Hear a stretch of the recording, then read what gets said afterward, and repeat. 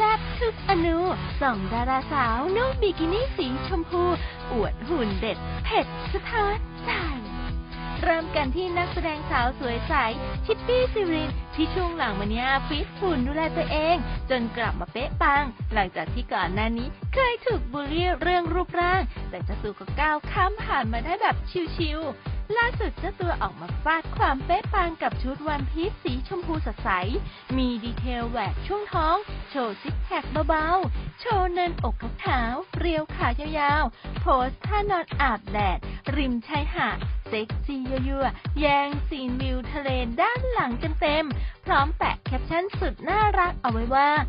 ลามน่ะ ชอบงับคืนงับงับงับ งานนี้เพื่อนพี่น้องในวงการและแฟนคลับ ก็เข้ามาคอมเมนต์แซวสนั่น ยอมในความสวยความแซ่บของสาวชิปปี้ เซตนี้ให้เลยเต็มสิบ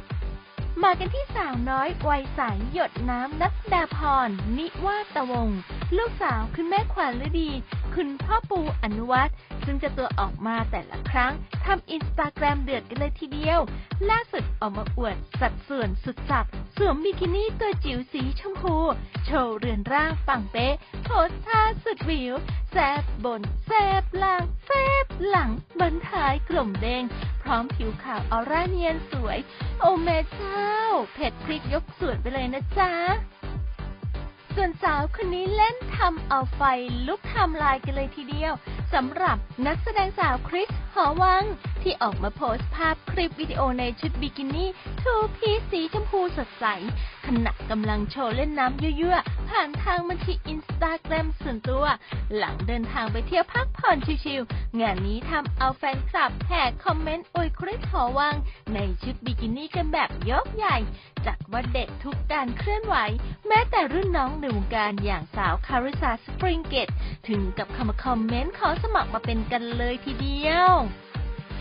ถัดมาที่คุณแม่ลูกหนึ่งแพทณปภาที่ช่วงหลังขยันออกมาอวดความแซ่บเรียกยอดไลค์แบบรัวๆและเมื่อที่สาวแพทไปเที่ยวป่าเขาเจ้าตัวก็ไม่พลาดที่จะหยิบบิกินี่ตัวจิ๋วสีชมพู ออกมาอวดสัดส่วนเป๊ะปัง โชว์ให้เห็น six pack เป็นกล้ามลอนสวยๆเผยให้เห็นเต้าขาวล้นทะลัก ยืน pose ท่าแซ่บๆเล่นน้ำริมสระเบาๆ แต่ความเซ็กซี่มาเต็มพิกัดจ้า